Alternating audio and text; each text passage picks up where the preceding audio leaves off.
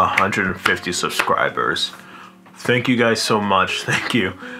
I am very grateful there are actually uh, a, a, group of people that actually sit down and watch my stuff or try to push me and motivate me to make more content for you guys. I would like this YouTube channel to grow. That's one of my biggest goals this year because I would love to do magic and YouTube and I making films is used to be one of my biggest dreams and YouTube's probably the closest that I'll get to that. And I know 150 subscribers is really not that much. And one of my favorite quotes from, uh, there's a great YouTube channel I've been watching for years, uh, Rich at Review Tech. He would say something like, yeah, I'm the puddle of piss in the ocean of YouTube. yeah, because if you have people that have like a man that has 100 million subscribers, basically 150 is just it's nothing. And also, I've been wanting to do this video for a little while, but I wanted to save it for like a special occasion. And I think 150 subscribers is a pretty good landmark. So I wanted to tell you about one of the worst event planners I had to work with. Uh, I would say kind of unprofessional and they basically kind of financially screwed me over on a lot of things. So I'm gonna take you back to like 2017. 2017, I just moved out of my mother's house. I'm in my apartment and I want to start working on magic again. I want to start doing it, try to do it full time because Chris Ramsay's channel is really inspiring me, especially in like 2017. So I get my apartment and I'm trying to look for event planners, can't really find any. And my girlfriend told me that her dad works with a few of them because he actually does like balloon animals. And if you ever go to the TD Garden, he goes to like the Celtics games and he gives makes balloon animals, gives them to the kids. Sometimes he works at uh, restaurants, does that for people and everything. So he uh, gives me a couple numbers and like all of them they don't pick up. And I've heard some people got into like got DUIs. Some of the owner, one of the owners I don't know if that was true or not, but they would just not answer the phone after weeks. And one of them picked up, uh, we'll call him Tim. I don't want to give this guy's name away. So I give Tim a call and we talked for a little while. And he said, Yeah, I like to work with uh, Bill, my girlfriend's dad. Said, Yeah, I, I worked with him, stuff like that. He's a great guy and everything. He said that he would love to have a magician. And he used to have a magician and he just stopped accepting my calls. And I, that was one of the uh, first red flags that popped into my mind. The second one was I was asking him, okay, how do I get paid and how much? $75 a show.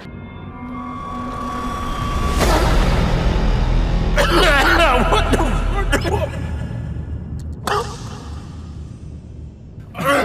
oh shit. And I was really oblivious at this point because I know that was extremely low to pay somebody, but I didn't know how much a magician would get paid.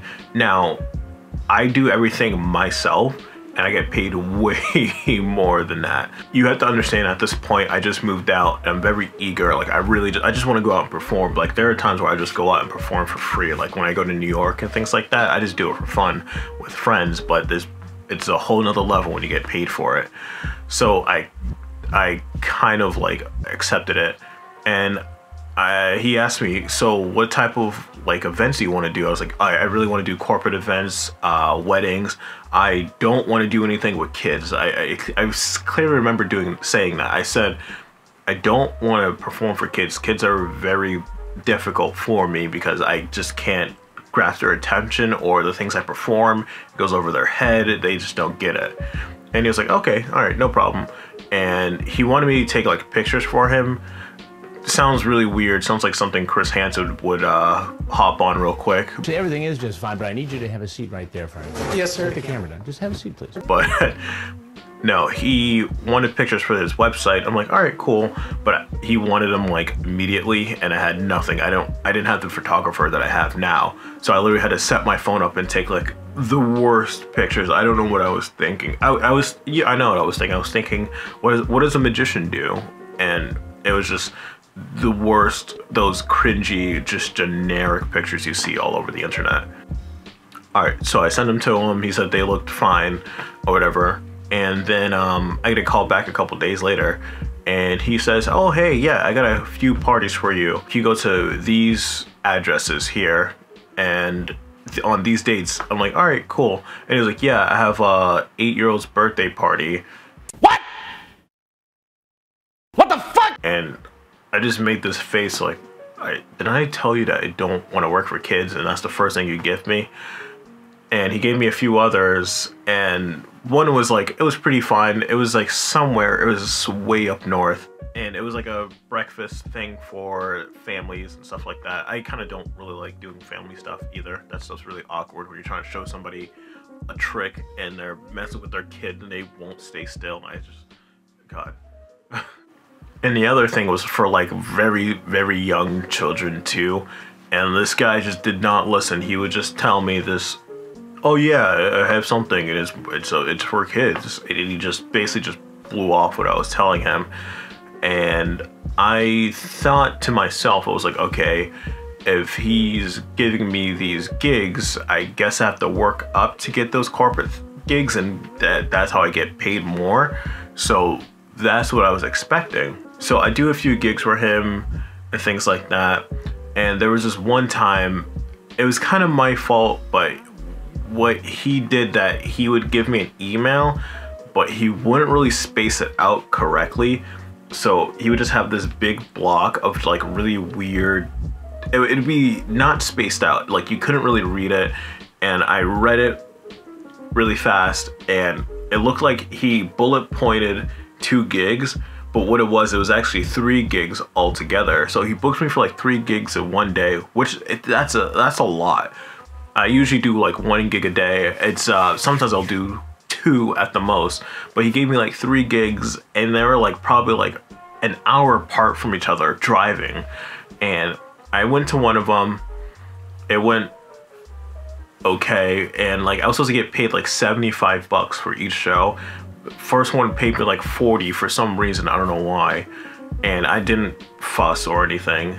And then i left drove all the way to the other one was pretty early to it and i get a call and from the person who needed me and i'm like oh hey are you guys inside the building? They're like no we're all the way on the other side of the state.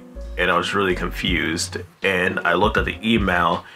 It was just so poorly put together i couldn't read it correctly. So i had to leave that gig drive all the way to the other side of the state get there and drive around for another hour because i got lost and it was like somewhere in the boonies. It was just one of the cringiest it, it was like one of the worst like performing nights. But they gave me an extra tip. They gave me a hundred bucks which is still not even close to what i even do for one gig now and drive all the way home. So basically just to drive around i'm getting paid gas money and the funny thing is is that i would go back to my girlfriend's dad like if i had to go pick my girlfriend up but this is before we uh, were living together uh, if we were hanging out at her place or i had to pick her up or something uh, he would tell me stories about Tim, the guy, the event planner, he would say like, yeah, if you try to mention like money to him, he'll try to like mumble under his breath, or he would try to forget, or something like that, or try to move past the point. And also, I forgot about this. He wrote me a check for the first two gigs I did. It was like a hundred and fifty dollar check, and he put like wrong information on it. I tried to cash it, they wouldn't cash it, so I had to go back to him, have him write me another check after I did a couple more gigs, and it was like a three hundred dollar check, and I got to cash that. And I was, I I do understand that he was an older guy. I, I, he was like past boomer. He was probably from the silent generation, probably on the cusp of silent generation and boomer, which is really fucking old. And I'm trying not to be mean, but God, this guy got so many things wrong.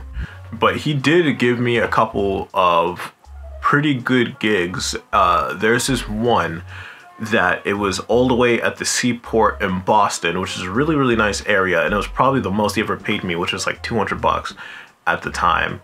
And what really, really upset me was he, I, I guess he emailed, we were like in a three way email. I don't remember what it was, but somehow I've gotten an email of the invoice of the person who wanted me to be there. And the invoice was me getting like 200 bucks and he got like 40% of like something else. So he, he got like almost like half of my check and he wasn't even there. So I'm getting paid more, but if I'm getting paid $75 for these shows, how much is he getting for the other ones? And that really just set me off. And so what I did is actually, whenever they wanted to rebook me, I gave them my information and I ended up charging them through me.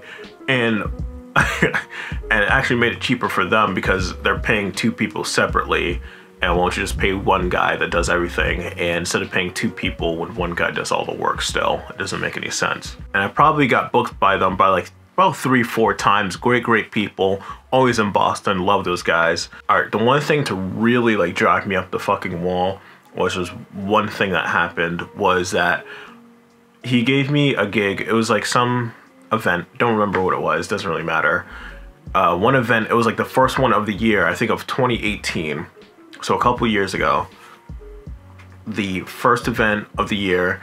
So I'm like, all right, I'm excited. I was a little bit nervous. And what I did, I uh, had to go from work straight to there. And it was about like an hour and a half drive. I'm like, all right, I'll do that. And uh, a couple months later, the event comes up. I'm like, okay, cool. I get off work. I drive all the way down there. There's nowhere to park. I'm like, okay and there's no way to get into the building. There's there's literally no one around. It's like middle of nowhere. And I text him, I'm like, uh, hey, where's everybody? He's like, what are you talking about? I'm like, uh, um, at this event you wanted me to be at. He was like, oh yeah, that was canceled months ago. So I drove all the way out there for nothing. And he was like, oh yeah, you, you should have called me before the the day before. I'm like, dude, why, why didn't you contact me when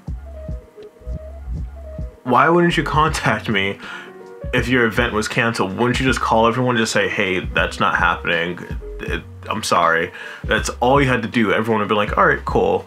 And I'm the only one, apparently I'm the only one that wasn't contacted because no one else showed up. Unless I don't know who else didn't show up. I didn't really know that many people that worked there. Also, I would go out uh, into like dangerous snowstorms. I mean like snowstorms I had to drive like over an hour to drive in for 75 fucking dollars. I would drive out there and I'm going down the street and I'm seeing cars in Boston sliding down the street hitting hitting each other for 75 dollars and I I uh, it was just so uncomfortable to to be there because it was just it was everything I didn't want. It was me with a bunch of bunch of kids uh, a bunch of families and a bunch of people that just don't want to be there. And I'm there on a snowstorm. I'm barely getting paid anything, and it was just like one of the worst, like worst experiences of my performing like career so far.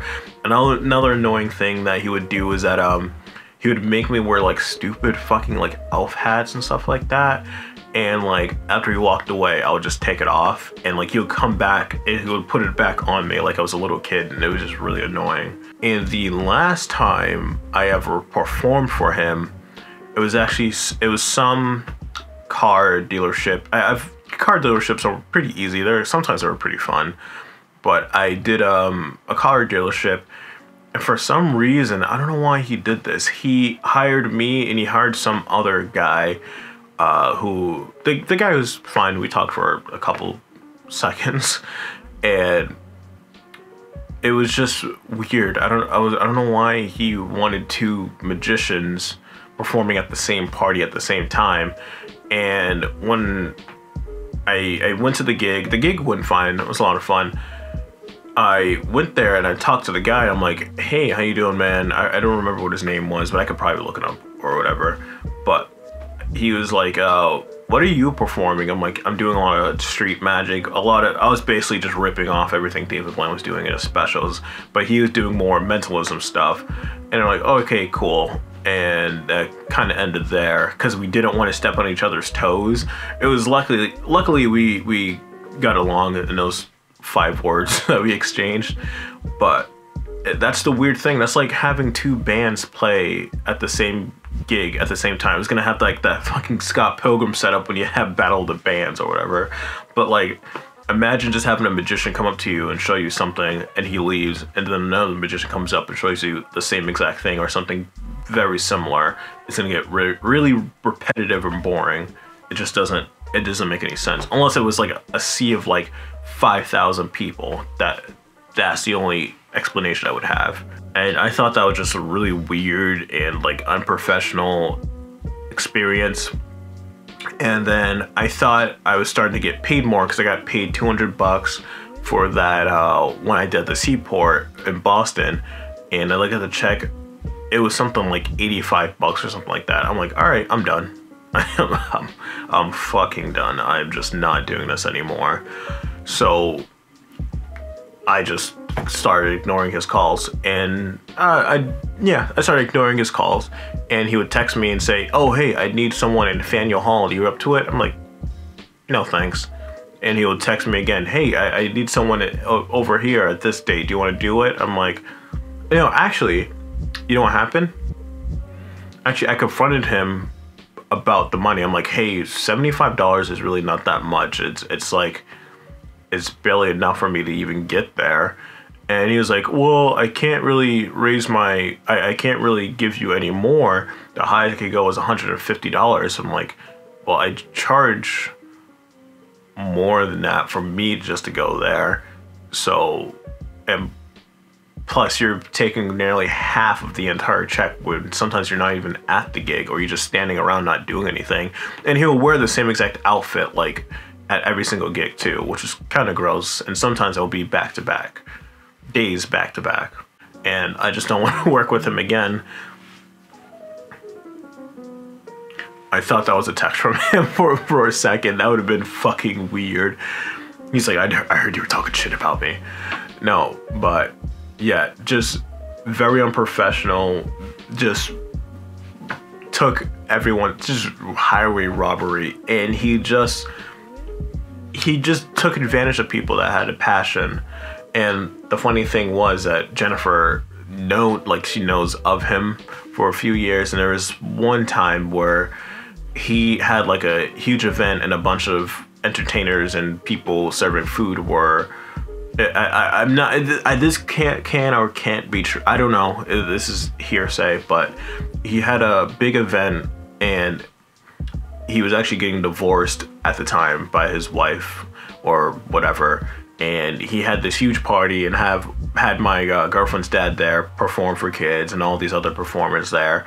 And at the end of the entire gig no one got paid because the wife took all the money out of the account. And everyone just had to shrug their shoulders and move on. It was just oh god. So the message of this video, don't be a bitch, no. no, so the message of this video is, is that I, I still don't have an answer for this question. I still ask myself every time I get booked for something or whenever I go out and I perform is how much do I, how much should I charge or how much should I be booked for or how much can I do this to be financially stable and what people always tell me is that just book yourself uh, what you think you're worth. Don't have someone book you for like $75 $50 $20 don't have someone do that for you. And I was actually that last gig I was in I didn't get any footage of it. When I was in the P3 studio uh, at Magi Fest we actually um, got interrupted by Eric Tate, Nick Locapo, and uh, Ryan Plunkett. And we hung out for a little bit, and I was asking him about magic. And actually, Locapo's from Boston, which was really funny. And he was just like, uh, just price yourself how much you think you're worth. And Tate chimed in also. He said the same thing. He's like, yeah, just price it how much you think you are worth, uh, your time is worth, and everything. And also, Plunkett came in and said, yeah, just just if they try to lowball you, they don't think you're worth it, and it's okay to not take the gig. I've done that before where people try to lowball me so much, I'm just like, you know, it's not even, yeah, I'm not gonna do it. because if they lowball you that much, that just means the party's not gonna be that great, or it's just gonna suck, or they're probably not even gonna pay you in the end. That That's happened to me where they lowball me and I never even got paid for it. But just don't even like just don't let anyone take advantage of you, especially if it's your passion to do this. Just put yourself in charge and also don't ask for things, tell them that you're going to do something, tell them that you're gonna be booked for something, and tell them that you charge this price. And don't back down from that because people will just nickel and dime you for anything. But thank you so much, guys. Thank you for watching. Thank you for 150 subscribers. And I plan on doing more videos. I'm planning on going to NemCon, which is a very tiny convention in Connecticut where my friend Nevin is. So we're gonna vlog there. I'm trying to bring one of my layman friends out there too to just get fried by Aussie, if Aussie's okay being in front of the camera. but thank you so much guys. Please like and subscribe uh, to this video and I'll check you out next time. Thank you.